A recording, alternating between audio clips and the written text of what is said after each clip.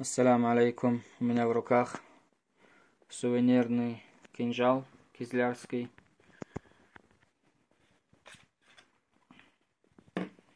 Сталь 40Х13.